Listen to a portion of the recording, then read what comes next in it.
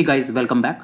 So in previous video we have covered uh, we have created these three content fragment models. And just a correction in the book content fragment model whereas i have given this authored books it should be authors because within from my book uh, content fragment model i just want to refer uh, this author content fragment model type.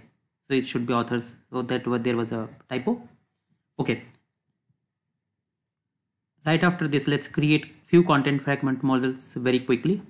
So i am inside my GraphQL demo final folder. I'll click on create create on content fragments. Let's first create few authors very quickly.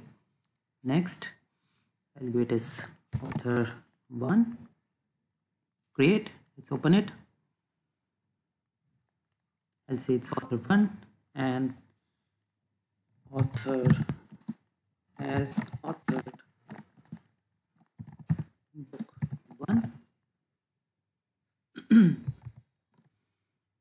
save it close it. Let me create another content fragment model. Sorry content fragment using the same content fragment model. And this time maybe let's say this is author 2 let's open it. 2 and this one has done book 2 save it close it. Let's create book this time? Book 1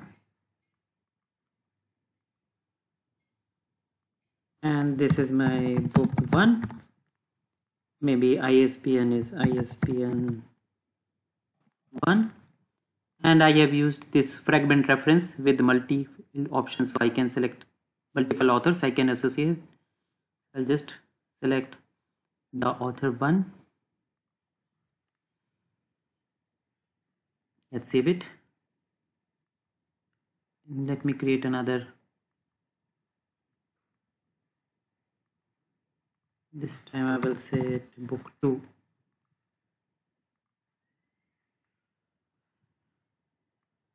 this is my book 2 ISBN 2 let's add this time another author. Author 2 save it.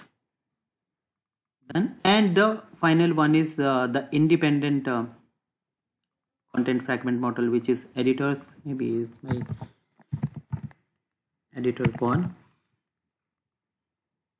just quickly open it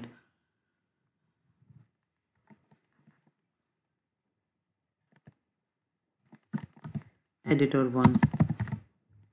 And some license number one two three four five. And so now we have created content fragments. Just five content fragments. Let's see in the next video how we utilize them.